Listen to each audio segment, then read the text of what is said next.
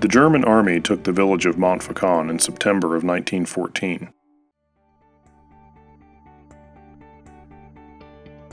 Under the direction of the German crown prince, observation posts were built within the village, which sat atop high ground, allowing the spotting of artillery that commanded the French positions to the south.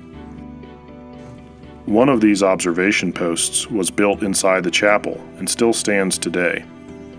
Others litter the south face of the hill, throughout the area once occupied by the village.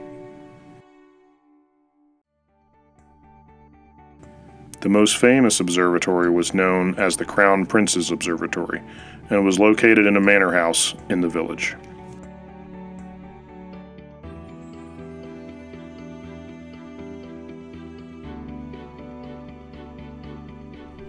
During the Meuse-Argonne offensive, Montfaucon lay within the main belt of German positions.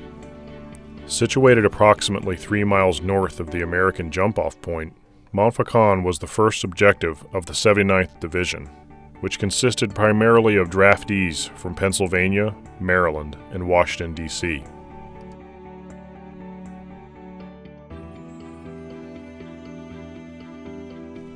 When the 79th approached the village on September 26, 1918, it lay in ruins.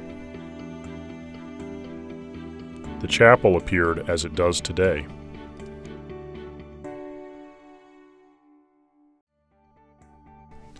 Today, a monument maintained and administered by the American Battle Monuments Commission commemorates the American victory in the Meuse-Argonne. The monument itself is a Doric column over 200 feet in height constructed of granite and topped by a statue symbolizing liberty. The view from the top of the tower is panoramic, encompassing much of the ground over which the battle was fought. The foyer contains an engraved map of the area of the offensive and a tribute to the troops of the American Expeditionary Force who served in the Meuse-Argonne.